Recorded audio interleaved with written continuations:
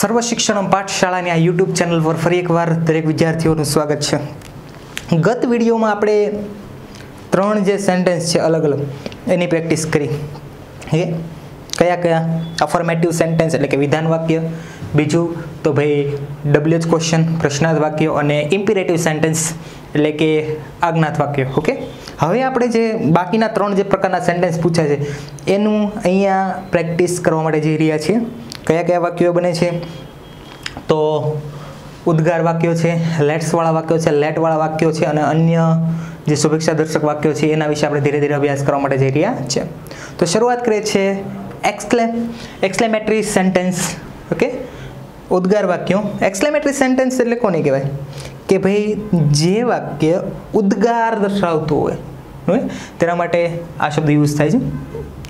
આ સેન્ટેન્સમાં reporting verb તરીકે ઉદ્ગાર વાક્યોમાં રિપોર્ટિંગ વર્બ તરીકે એક્સક્લેમ્ડ વિથ વપરાય છે.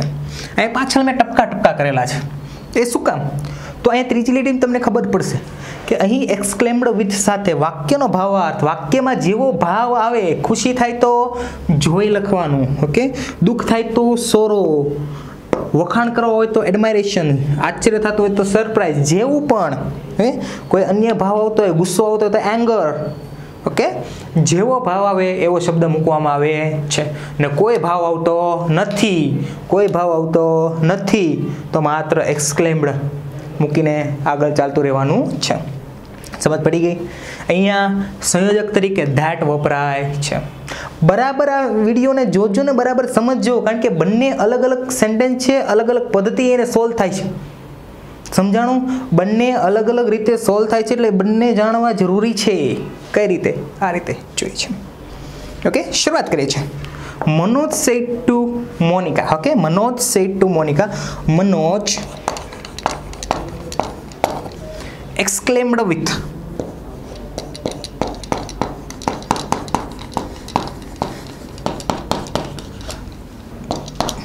okay exclaimed with oh i won the match match જીતી ગયો શું થયું ખુશી થાય જીતી એટલે ખુશી થાય ને હા બરાબર છે વિથ જોય ટુ મોનિકા થઈ ગયું exclaimed with joy to morning હવે મેઇન વસ્તુ યાદ રાખજો. ઉદ્ગાર વાક્ય જ્યારે ડાયરેક્ટમાંથી ઇનડાયરેક્ટમાં જાય છે, ત્યારે ઉદ્ગાર દર્શક જે શબ્દો છે, ઓહ અલાસ બિંગો અરે, તમામ શબ્દો શું થાય છે? નીકળી જાય. કોણ નીકળી જાય છે? ઉદ્ગાર દર્શક શબ્દો છે, એ નીકળી જાય છે. ઓકે નીકળી ગયા? નીકળી ગયા. હવે વાક્ય. આઈ, કોણ બોલે છે? મનોજ. મનોજ. આઈ. છોકરો. સંયોજક તરીકે આપણે પહેલાં શું મૂકશું? ધેટ. આઈનું હી. વન છે. વન એટલે V two. V two. Okay? V ટુનું શું થઈ જાય? Had plus V three. He had won. He had won. The match. આ સામાન્ય વાક્યની જેમ બદલ્યું. ઓકે સામાન્ય વાક્યની જેમ બદલ્યું છે. અને ખાલી એટલું ધ્યાન રાખવાનું તો શું? ઉદ્ગાર ચિહ્નો આપણે આમાંથી કાઢી નાખવાના હતા. ઉદ્ગાર શબ્દ આપણે કાઢી નાખવાનો હતો. કાઢી નાખ્યા. ઓકે સમજ પડી ગઈ? મનોજ સેટ ટુનું એક્સક્લેમ વિથ વાક્યમાં ખુશી હતી એટલે જોઈ. ટુ મૂકીને મોનિકા સંયોજક તરીકે આપણે શું મૂક્યું? ધેટ આઈ કોણ બોલે છે? મનોજ એટલે he won V two V ટુનું had plus V three had won બાકીનું વાક્ય બેઠું બેઠું. ધ મેચ પણ બીજું વાક્ય જુઓ, બીજું વાક્ય અલગ છે. બીજા વાક્યમાં શું છે? તો બીજા વાક્યનું વાક્ય છે એ હાવ વડે પૂછાયું છે. યાદ રાખજો, જ્યારે પણ ઉદ્ગાર વાક્ય હાવ અને ડબલ્યુ એચ વડે પૂછાયેલું હોય what a beautiful girl she is કેટલી સુંદર છોકરી છે. હે? હાવ બ્યુટિફુલ સી લુક્સ તેની કેટલી સારી દેખાય છે? આવી રીતે વોટ અને હાવ વડે હોય ત્યારે એને કેના વડે ફેરવવામાં આવે છે? તો ભાઈ, વેરી મૂકીને ફેરવવામાં આવે છે. શું મૂકીને ફેરવવામાં આવે છે? વેરી મૂકીને ફેરવવામાં આવે છે. સમજીએ, શીખીએ, શરૂઆત કરીએ. ક્રીના. એક્સક્લેમ્ડ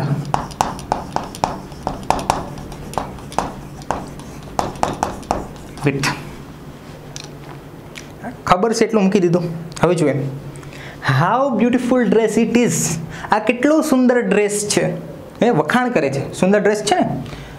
તો ભાઈ પ્રીઝ પ્રીઝ શબ્દનો પણ ઉપયોગ કરી શકે છે અને એડમાયરેશન આપણે એડમાયરેશન લખો એટલે લખશું.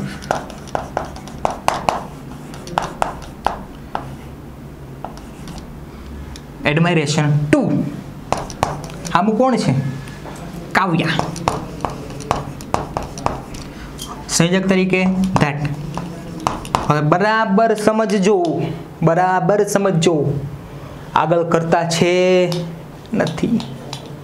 હોય નાથી ગોતવાનો, પછી મૂકવાનો.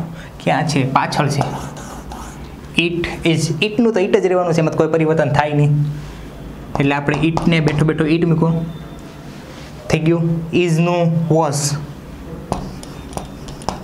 હવે, તો જે પણ વિશેષણ એડજેક્ટિવ લાગ્યું છે. ઓકે એડજેક્ટિવની આગળ આપણે કોનો ઉપયોગ કરશું? વેરી ઇટ વોઝ વેરી પછી બાકીનું વાક્ય બેઠું બેઠું.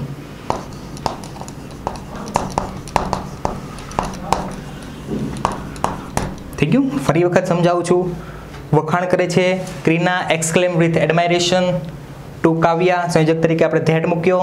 ઇટ ઇઝનું ઇટ વોઝ એમ ઇઝારનું વોઝ વેર ઇટ ઇઝનું ઇટ વોઝ રેડી પછી, વિશેષણ શું છે? બ્યુટીફુલ ડ્રેસની વિશેષતા શું છે? સુંદર છે. તો અહીં આગળ આપણે શું મૂક્યું? વેરી બ્યુટીફુલ ડ્રેસ ઓકે ત્યાર પછી લેટ્સ વાળો હવે સેન્ટેન્સ આપણે જોઈ રહ્યા છીએ. ઉદ્ગાર વાક્ય અહીંયા પૂર્ણ થઈ જાય છે.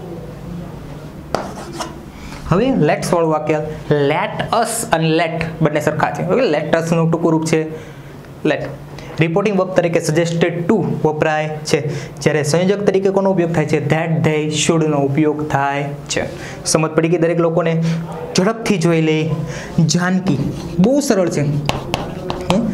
જાનકી સેટ ટુનું શું મેં કીધું? Suggested to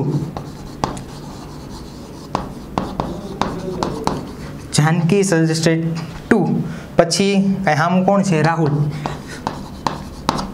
સંયોજક તરીકે ધેટ ધે શુડ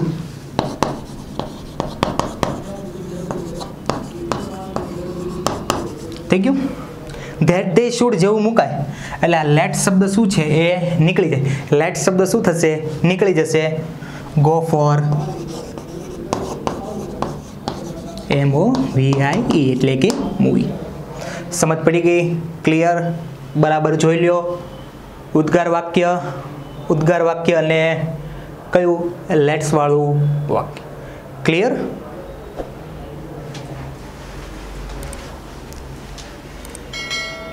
તો લેટ વાળા વાક્યો પછી લેટ અસ ઓકે લેટ્સ લેટ્સવાળા વાક્યો પછી.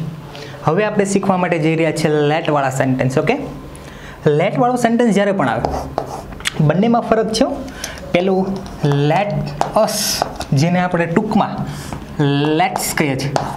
એ, જેમાં રિપોર્ટિંગ વર્ક તરીકે સજેસ્ટેડ ટુ વપરાય છે. આ છે ખાલી લેટ હવે જેમાં રિપોર્ટિંગ વર્ક તરીકે રિક્વેસ્ટેડનો ઉપયોગ થાય છે. આ સિવાય આસ્કડ પણ તમે મૂકી શકો. આસ્કડ ટોલ્ડ એવું પણ મૂકી શકો. સંયોજક તરીકે હકાર વાક્ય હોય તો ટુ નકાર વાક્ય હોય તો નોટ ટુ મુકાય છે. બહુ સિમ્પલ છે બહુ સરળ છે. જો. સાવન સેટ ટુનું શું થયું? Requested Savan requested Sameer. Savan requested Sameer. હકાર વાક્ય? સંયોજક તરીકે શું મૂકવાનું? હકાર વાક્ય. એટલે સંયોજક તરીકે ટુ હકાર વાક્યમાં ટુ આમાં લેટ નીકળતું નથી. લેટનું લેટ હવે જો, હું પોતે આઈ છું, એટલે આ સાવન પોતે આઈ છું, હે? આઈનું મી કરતા એની બાજુમાં કર્મની લાઈન કોષ્ટકમાં જોવાની છે. ઓકે? સર્વનામના કોષ્ટકમાં કરતા અને બાજુમાં કર્મ. આઈનું મી. આ સાવન છે શું છે? હી તો હીનું શું છું તો એ લાઈનમાં તમે નીચે જશો એટલે તમને ખ્યાલ આવશે, હિમ. આઈનું મી, આ આ કરતા આ કર્મ. આઈનું મી, તો આ નીચે તમે જુઓ, હીનું, હિમ, આ જ લાઈનમાં નીચે જોવાનું છે, સિમ્પલ છે. Let him read red read ધીસનું that પોએમની પોએમ અહીંયા સેન્ટેન્સ તમારા કમ્પ્લીટ થઈ જાય છે. સમીર, સાવન રિક્વેસ્ટેડ સમીર સંયોગ તરીકે હકાર વાક્ય એટલે ટુ ઓકે લેટનું લેટ આઈનું મી તો હીનું હિમ રીડ ધીસનું ધેટ પોએમનું પોએમ ઓકે સેન્ટેન્સ અહીંયા કમ્પ્લીટ થાય છે. આ સિવાયના બે સેન્ટેન્સ જે પૂછાય છે, એક તો થેન્ક્સ કોંગ્રેચ્યુલેશન્સ એવા વાક્યો અને શુભેચ્છા હોય કોઈ પણ પ્રકારની હે એના માટે. શુભેચ્છાઓ good morning good afternoon good evening એ પ્રકારની ઓકે તો આવા સમયે રિપોર્ટિંગ વર્બ તરીકે વિશ્વનો ઉપયોગ થાય છે શુભેચ્છાઓ આપણે શીખી રહ્યા છીએ જો કોઈ શુભેચ્છાઓ જણાય, તો એમાં કોનો ઉપયોગ થાય છે? વિશ્વ વપરાય છે. જોઈએ.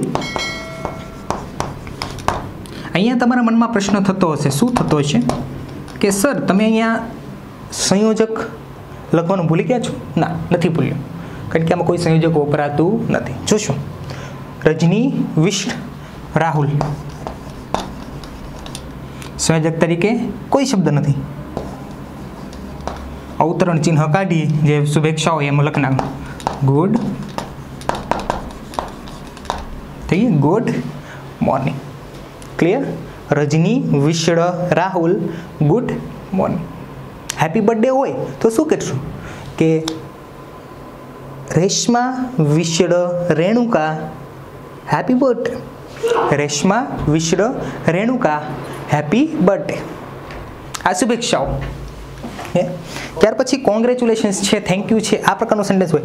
તો આમાં કોઈ પ્રકારના રિપોર્ટિંગ વર્ક કે સંયોજક મૂકવામાં આવતા નથી. સીધે સીધું જે પણ થેન્ક યુ તો કોંગ્રેચ્યુલેશન છે, એને પછીના કાળમાં ચેન્જ કરી નાખવાનું. મોસ્ટલી વી વનમાં જ હોય છે, એટલે વી ટુમાં જ ટ્રાન્સફર થાય છે. Okay Manohar. થેન્ક યુ છે. થેન્ક્સનું thanked Manohar thank thanked exact બોલાય. થેન્ક કડ તો ન કહી શકીએ આપણે. મનોહર થેન્ક્ડ કોના માટે? યુ કોના માટે છે? રાજવી. એટલે અહીંયા થેન્કડ થેન્ક હર. અથવા તો એમનો યુઝ કરવો હોય.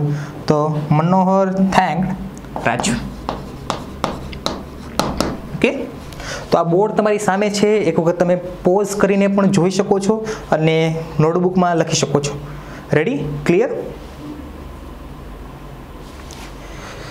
તો આ હતા સેન્ટેન્સ પ્રેક્ટિસ અહીંયા ડાયરેક્ટમાંથી ઇનડાયરેક્ટની તમામ જે સેન્ટેન્સ પ્રેક્ટિસ છે એ પૂર્ણ થાય છે. કોઈપણ પ્રકારના પ્રશ્નો હોય તો કમેન્ટ સેક્શનમાં ચોક્કસ ચોક્કસ પૂછી શકશો.